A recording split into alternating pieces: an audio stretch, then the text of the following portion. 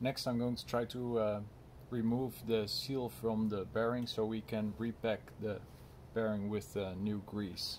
So I have a sharp pry tool, sharp tip. I put it between the inner race and the bearing seal very carefully just to lift it up enough so I can place a non-sharp object in there like this uh, screwdriver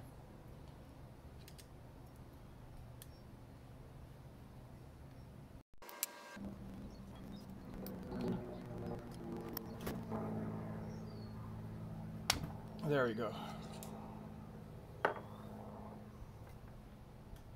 That's the seal.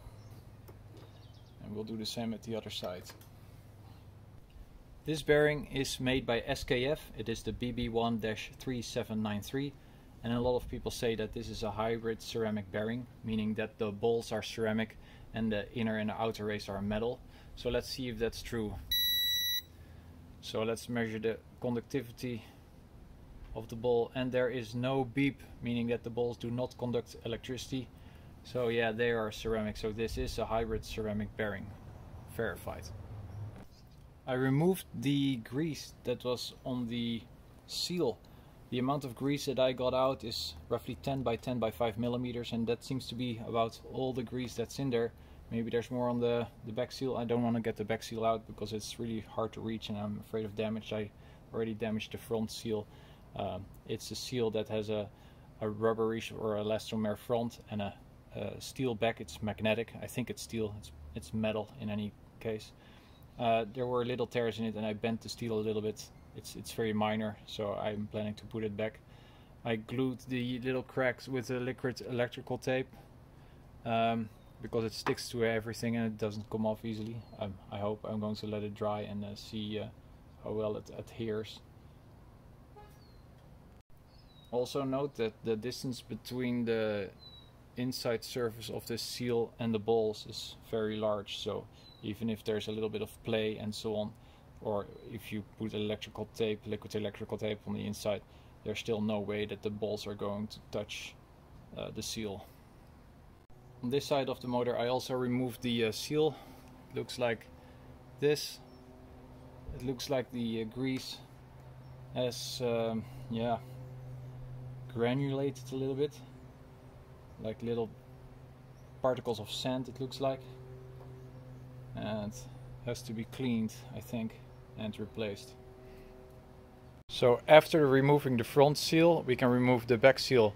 Now the seal is uh, on the outside it's rubber and on the inside it is actually a metal sheet material.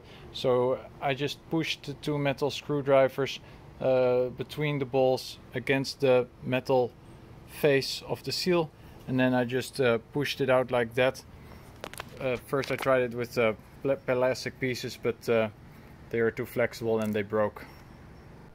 Next take a Q-tip and some acetone.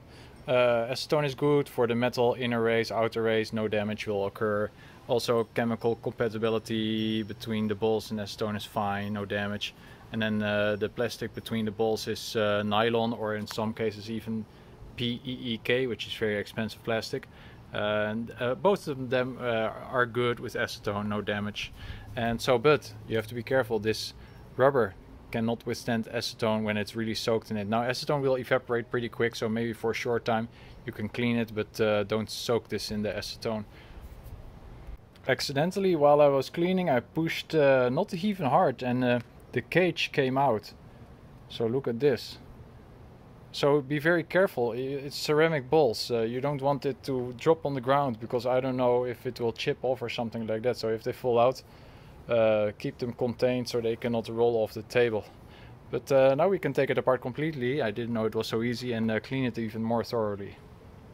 Fortunately, they just stay in. Uh, doesn't matter if you move them all together. Uh, they just stay between the inner and the outer race cannot be taken out until unless you provide a lot of force but I'm not going to do that. I don't want to have to reassemble this again.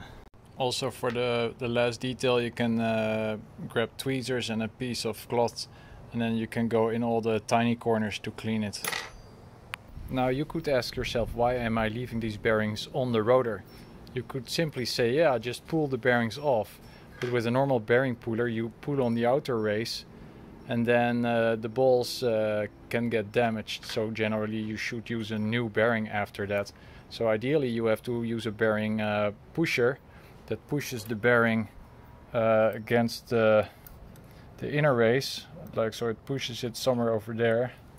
That's difficult to see, but there's only a very small surface area where you can push the bearing. So you have to have a bearing pusher that's exactly right for that. Only yeah, also we don't have much space between the, the bearing face and the, the rotor face over here. So uh, I don't have that uh, kind of tools. So uh, that's why I decided to go this strategy. You can also say pull these off and buy new ones. Problem is here in California they're 400 US dollar each. So for the pair that would be 800 dollar. I rather preserve them and uh, first I wanted to just put this rotor back in the housing without doing anything about the grease. And a good friend of mine who has a lot of experience with uh, rebuilding engines and whatnot said, no, no, you have to repack it with uh, fresh grease because the old grease has been flushed out by the coolant leak on the other side or here contaminated with the uh, transmission fluid and whatnot. So we have to find a, a proper grease next. You can also say just buy it off AliExpress for 20 bucks. It's also an SKF brand, same brand, same quality you expect but there's a lot of counterfeit, you don't know the quality, so the bearing just may fail after a couple hours and then your motor seizes up and you got a whole bunch bigger problems. Both bearings on the rotor are made by SKF and they're model BB13793 hybrid ceramic bearings. I made a detailed uh, 3D CAD model of the SKF bearing, rotor bearing, and it shows that the free volume is 6.5 milliliter now we have to choose a fill fraction. So which fraction of that free volume are we going to fill with grease? For normal bearings, you would pack it 100%, but we are running a high speed bearing here and both SKF, but more explicitly plantengineering.com says uh, put less than 30% grease in there. So it can be anywhere between 0 and 30. So I was like, okay, let's go halfway, 15 which amounts to one milliliter of grease. So if we chose that, let's compare to what we pulled out of the uh, bearing the old grease, and that was a half a milliliter. Now that for sure was not all the grease that has been in there. Part had been flushed out by the um, Dexron 6 or the gearbox fluid, um, and part was uh, between the um, the cage, and I, I didn't collect all that.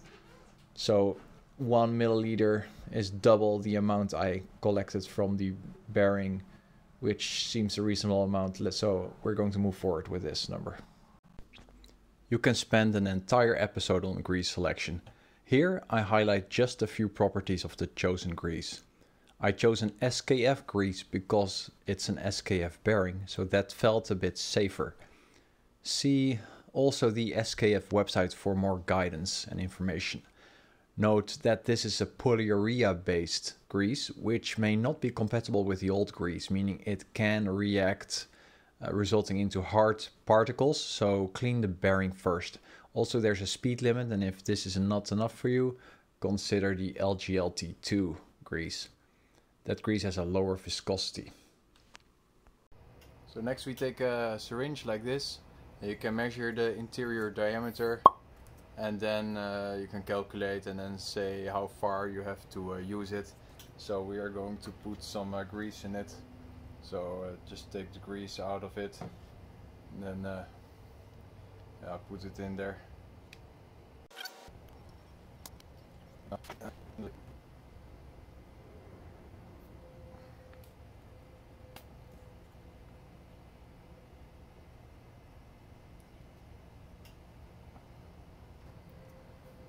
So there I just go to the to the first uh, marking then I uh, inject in the first bearing until there and the second bearing until there.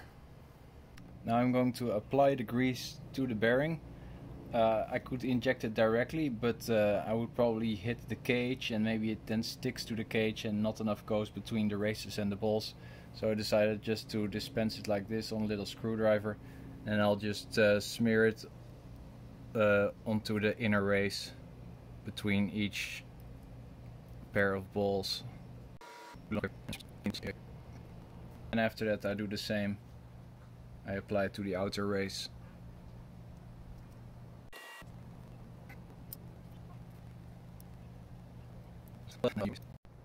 So the bearing has been repacked, look like this. So now we're going to put the seals back on.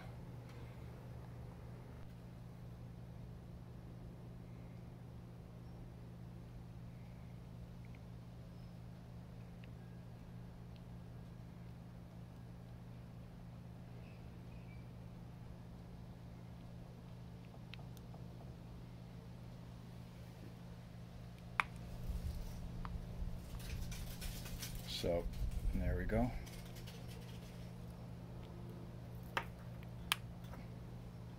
Clicks right in place. Check if the seal is completely clicked in place before we start to rotate the bearing. Otherwise the, the grease may uh, go out. And now we can rotate the bearing.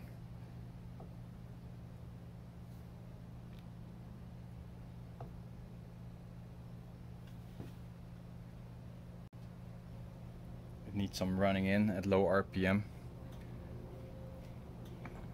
So the second bearing has been repacked, look like this.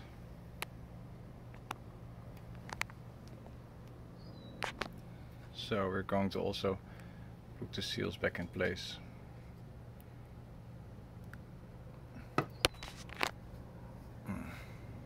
Alright, I pushed the seals back in. Can start to turn it. And it starts to go smoother already.